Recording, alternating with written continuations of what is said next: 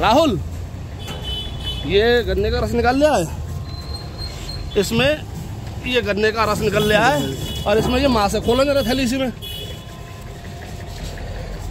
थैली खोलो जरा। थैली में रखा हुआ। व्रत वाले लोगों को ये इसी में इसी पलटो जी। मांस रख के सच्चाई सफ़ाई पवित्रता है?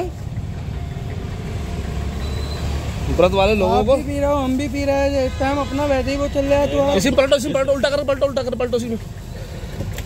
ये ये बर्फ़ के साथ ये मांस। ठीक है? और ये है साहब